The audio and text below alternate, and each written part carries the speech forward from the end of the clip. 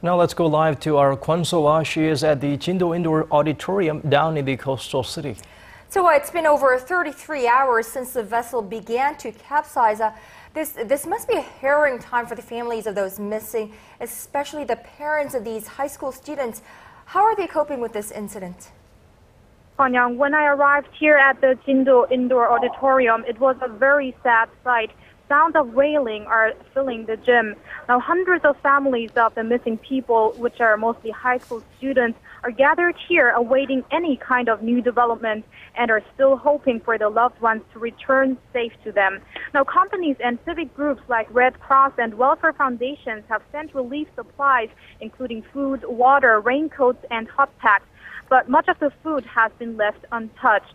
500 volunteers are helping out, which includes nurses who care for family members that fainted.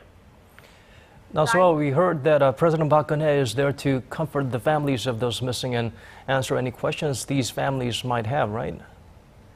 That's right, Daniel. At around 4:20 p.m., the the auditorium began to bustle as President Park Geun-hye arrived here to talk with the families and console them.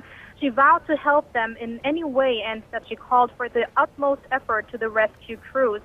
Now, the families had many questions. They were skeptic about the rescue crews, saying whenever they went to the site, they did not see the hundreds of rescuers that were supposed to be at help. When one became outraged about the fact that the families get to know about the rescue situations by watching the news, people joined in by shouting.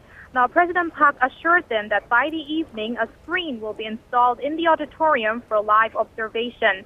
And she added that the families should be the first ones to know of the latest and assured them that they will be informed about the next steps, such as the process of inserting oxygen into the ship and the trains that are scheduled to pull up the ship early tomorrow.